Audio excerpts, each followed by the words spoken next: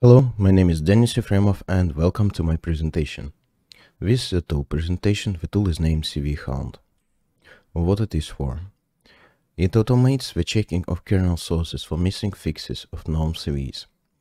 I started this project about 10 months ago. The tool works as a static analyzer and to detect missing CV fixes, the tool doesn't use kernel version, doesn't require a development log and doesn't need to know how to build your kernel. But internally, the tool contains a special rule for each CVE it is able to check for. As for now, I described it more than 200 kernel CVEs, the main value of the tool in these descriptions, and I will talk about them in detail a bit later. Additionally, the tool supports various filters like searching subdirectories or specific files. Checking of code on the enabled in a build config also supported. Uh, kernel config analysis is based on the Undertaker project's code. I reuse CVE metadata from linuxkernelcves.com for information like CWE and CVSS scores. It's a very hard work to collect and maintain the metadata and many thanks to the project. Not so long ago I also added reports generation uh, in JSON for CI systems. Let's talk a bit about why, in my opinion, do we need to automate these checks and why the automation is not so simple. I'm pretty sure that you all already know these facts, but I would like to explicitly mention them once again in my motivation part uh, to give you a better understanding of why the tool works this way and not another one. Some automation is highly desirable because we've got thousands of CVEs assigned to the Linux kernel. Most of them are in recent years.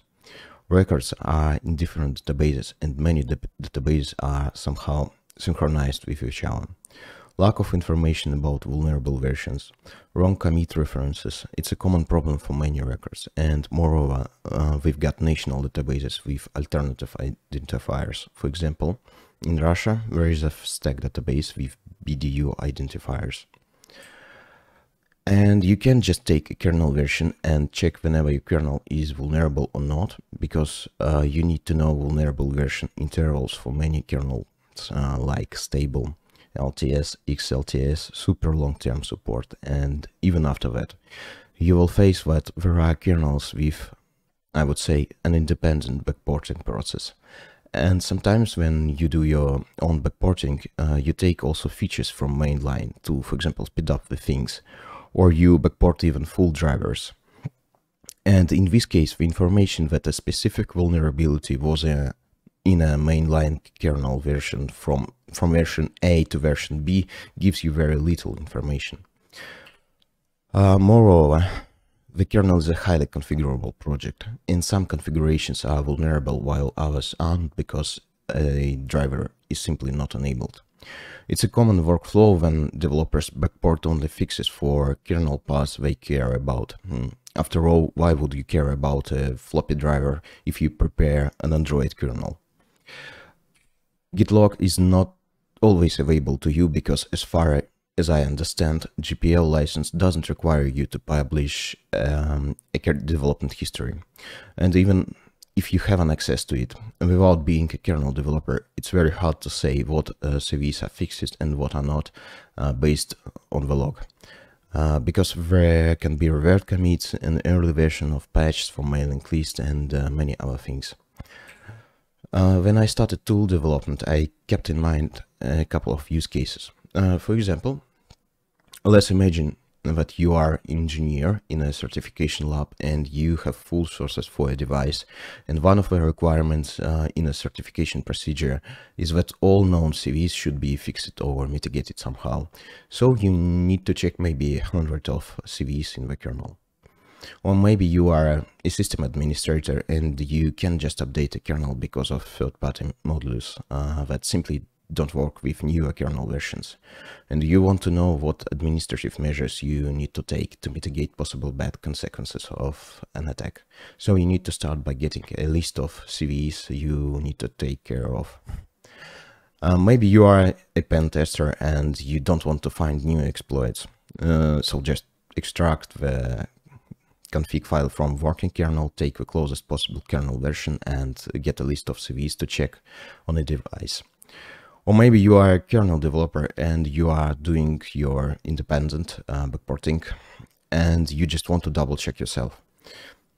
Maybe you want to enable additional kernel modules like one of network file systems on your uh, phone and you also want to check the state of these drivers in a tree before enabling them and making your phone vulnerable. As I already said, developers sometimes don't backport fixes to not enable drivers. So, how to implement this kind of checker? Actually, we've got one in the kernel for more than 10 years already. It's called Coccinelle. Uh, without reinventing the wheel, I use it in the CVEHound tool. Uh, many kernel developers already use Coccinelle and know how to write rules for it. Coccinelle is a static analyzer uh, that allows you to describe uh, C language patterns in a C language with additional meta expressions and find the real code that falls into these patterns. Uh, here's an example of, Co of Coccinelle rule. It describes a code pattern when we copy data from user space and compare it uh, to some node string in the kernel.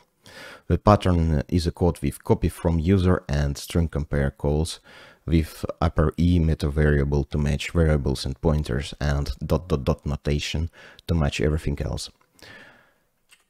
Uh, the Coccinelle will find many different functions for us that fall into this pattern in the kernel. Uh, usually, it's uh, that what you want when you write a rule for a static analyzer. And um, to make uh, this rule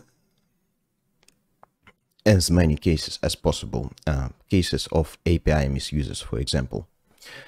Uh, but in the CVEHound tool, I want a contrary thing. I want to search only for one case in the kernel and check it, is it present uh, in the kernel or not. So I add additional detail, details to the rule uh, to make it more strict, to detect only one case but detect it through all changes uh, from the commit where it was introduced to commit where it was removed. Breaks commit where vulnerability was introduced and to the fix commit where it was removed. So I still need to abstract uh, out from such details as, for example, variable names. Uh, some statistics to give you a better feeling of how much effort you need to take to write these detection rules. I started the project about 10 months ago, and since then I have described more than 200 CVs. Most of them were assigned to the kernel in the last three years. I spent only 42 days adding at least one detection rule to the project, uh, and there were only 8 days when I spent the whole day writing rules. Usually I can describe more than 10 rules in a single day. Each rule is tested uh, that it detects a CV in, a, in the interval from breaks commit to the fix commit, and each rule is tested outside this interval that it doesn't detect a CV. Uh, to write a detection rule, I take a commit that introduces a bug and a commit that fixes it. I need uh, these commits only to test the rule. Otherwise, I don't need them. Like I already said, the tool doesn't need a git log to work. Sometimes finding uh, a fixes commit is not trivial.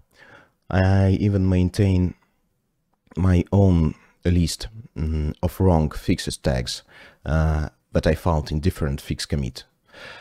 Uh, usually it takes about 5 to 10 minutes to draft an initial version of a rule and about 10, uh, 12 minutes to test it. Uh, there can be many iterations of refinements and testing. Let's have a quick demonstration. I reverted uh, a floppy fix from 2018 on top of 5.13 kernel and usually, uh, to run the tool, all what you need is to specify a path to the kernel uh, sources directory, but I'll also limit the search to floppy.c. And the tool will find it for us. Uh, just to give you a bit more information, uh, the tool internally uh, calls Coccinelle with different uh, patterns, and Coccinelle also outputs a line number of a match for us.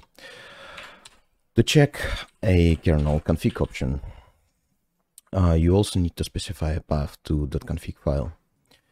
And in this case, the tool will output for us uh, a config option that enables floppy.c. And it will also check .config file for this option. And it's indeed enabled. Uh, our example, here I partially reverted uh, two capability checks on top of 5.13 kernel. The original patch adds four of them in different functions. And uh, I reverted only two of them. And the tool will output for us uh, exactly two lines uh, of the functions where capability checks were removed. Uh, and I would say it's a pretty common when uh, there is an error in backporting or um, you accidentally revert uh, part of the commit later. Let's get back to the slides. Uh, let's look at rules and some typical patterns that are used to describe a CVE. We will start from simple cases and move to more complex ones uh, to give you a better feeling of extensibility of this approach. CV on the left uh, just removes uh, some code from the kernel. And uh, in this case, uh, we can simply search uh, for removed code. And if we will find it, it definitely means that the fix wasn't applied. CV fix on the right adds a capable check uh, and to describe it, uh, we use some real answers like function name, global variable name, and abstract out from details like local identifier name, and use dot dot dot to match everything else. There is a dot dot dot when not equal uh, notation uh, that means match everything if it doesn't contain uh, this line. Uh, so we'll match row sock create if it doesn't contain capable call uh, before assigning uh, row sock row oops to a pointer. And later I also added uh, ns uh, capable call uh, because capable was changed to it. Here I use another approach and instead of using dot dot dot when not equal, I prepared three patterns and made uh, them depend on each other. Uh, so in the patch, we just add an initialization uh, to, we just add another entry to a global array. And um, to detect this, I need to check that there is a indeed such constant in the enum definition. It was introduced in, in, in a separate page. I need to check uh, that there is a global variable and uh, I need to check that there is no initialization for this global array uh, with, uh, with this constant. So instead of writing uh, dot dot dot when not equal, we can write a pattern and uh, check that Coccinelle can find it in the sources. Uh, let's move to functions that change existing lines of code. Uh, the error here is uh, self-descriptive, wrong permissions. And in the patch, we simply check for them. In the rule, we simply check for them. Uh, this is a simple case when a fix uh, fully describes an error and diff contains full information that we need uh, to write detection. With this slide, uh, I want to show you that in most of the cases, diff um, doesn't contain enough information to describe a CVE rule. So in general case, uh, fix doesn't contain full information and like for uh, this function, raise raise access for for a global variable uh, the patch just adds um, mutex lock and mutex unlock to one of the functions. Uh, but the error is in the combination between these two functions and uh, to properly uh, to reliably detect missing fix uh, I need to describe both of the functions but was because one of of the commits adds uh, one function with mutex locks inside it. Another commit adds another functions, and uh, third commit adds a global variable, and the error is in combination between them. Uh, here is another case, a simple patch that initializes a local a local variable, uh, but to describe it, uh, first I uh, need to check that there is a structure with a reserved field uh, inside it. Um, I don't remember exact details, but highly likely there is no information leak uh, if there is no reserved field in the in the data structure definition. Uh, so we check here for the field uh, for the copy to user call, and uh, we check for absence of uh, initialization. And uh, these receptions are enough to describe most of CVEs on practice, uh, but sometimes coccinelle uh, is not enough um, because it's only suitable for matching uh, C-code patterns. And like in these cases, uh, with um, errors in uh, in an LD script and assembly changes, um, you need to to do different things. Uh, in the in a coccinelle rule, you can write a Python code, and in this case, uh, with an LD script, uh, I check that an, in Python, uh, I check that uh, an LD script contains a special string with a regular expression, and I depend a pattern match on this check uh, before reporting an error. And in our approach is to fall back to regular expressions.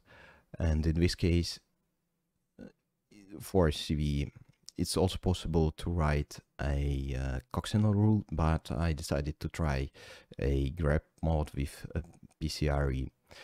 Uh, regular expressions are not very readable, but they are very uh, powerful with all these uh, look ahead and uh, look behind expressions and many more features. So that's pretty much all approaches that I use to describe CV patterns. Uh, future plans. Uh, Short-term plans include adding the tool to the KernelCI testing workflow. I already started to do this. Uh, it should be the same as adding a coccinelle. I see no value in checking stable trees because I already do this when I develop detection rules. Uh, but this can it can be interesting to check trees that are based on stable branches. And um, I also want um, to add more precise analysis of for kernel config options. As for now, it's done on a per file basis, and uh, if there is an if def inside the .c file, the tool may report uh, incorrect results. Uh, and I also want to add a filter for checking files enabled by a specific config options. Uh, like I already said, let's suppose you want to enable a couple of uh, config options on your uh, Android kernel, and you want to check is it safe, uh, is it safe enable to enable them or not, and you don't know what files will be built if if you enable them. A midterm plan is to add another checking mode to the tool. Mm, this lightweight mode uh, will check only the git log and uh, some of my colleagues asked me to implement this and uh, this mode will be useful mainly for kernel, kernel developers. Um, the simple idea is to check that there is a breaks commit in your branch and there is no mm, corresponding fix commit uh, in, in the git branch. Uh, I already drafted an initial implementation for this and of course uh, you can just check uh, for commit IDs because they are different in different trees so you need to take into account things like commit title, commit author, commit time uh, to really check a git log. And there are many hidden stones here uh, with revert commits, uh, multiple commits that fix one CV and of course you need a very good mapping between a CV and the breaks commit and fixes commit. And long-term plan is to automatically generate detection rules based on a breaks commit, fix commit and history between them and maybe uh, some manual markup like this line should be present in the sources, and this line should also be present in the sources, and this line should not be present in the sources, and I'm pretty sure it's possible to generate detection rules in more than 80% of the cases. This is the end of my presentation. Thank you for your time. Any questions?